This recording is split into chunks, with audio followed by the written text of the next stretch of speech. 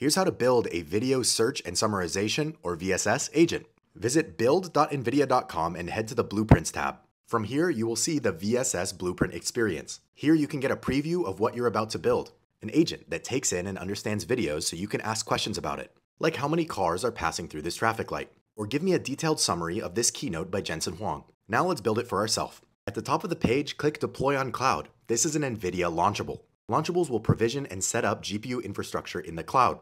In this case, it's an 8X L40S on Crusoe. Simply click Deploy Launchable in the top right and wait as your environment gets configured. This is the system architecture comprising of LLM, VLM, and embedding NIMs.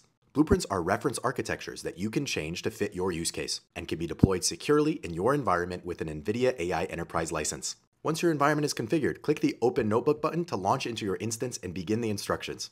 Follow them to build your own VSS agent and then you can put in your own videos to begin querying.